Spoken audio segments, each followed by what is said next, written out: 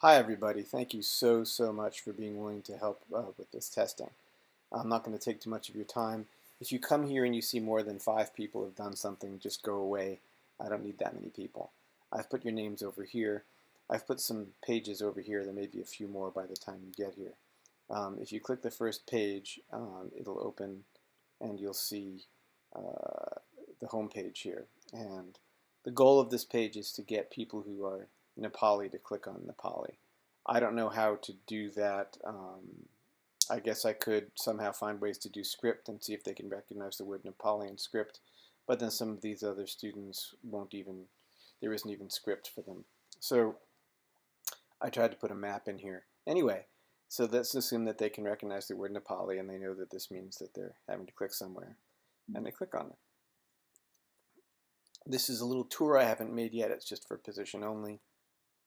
This is a narration of the tour, since the tour will be silent because it's got to work for all students.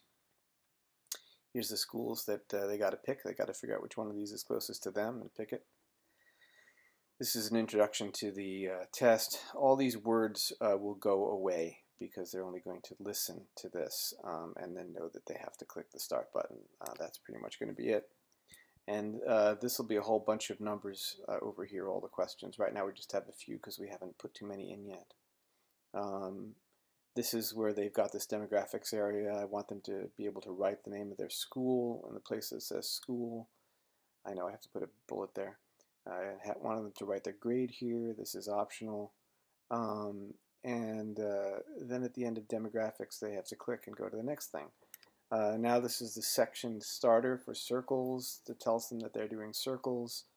Um, they've got to sort of match this by eyeball to where they are on the survey. Where's my PDF uh, show? So it says this section one, think about the classroom where you've done the most circles this year. They should look over here and say, oh, those are the same. That must be where I am. And now they're, I feel I'm listening to doing RP circles. Here are the numbers. I feel I'm listening to doing RP circles, and their job is to just fill in because they can figure out from here what they're looking at, or the number one might be significant for them. Um, but unfortunately, uh, there wasn't enough time to talk to the uh, everyone on the team and come up with exactly what should be said here. So pretty much what's being said is what's on the test. I mean on the survey. Uh, so I don't know how to make the website make it clear what to do without being able to redo a lot of translations, and that's what I need your help with.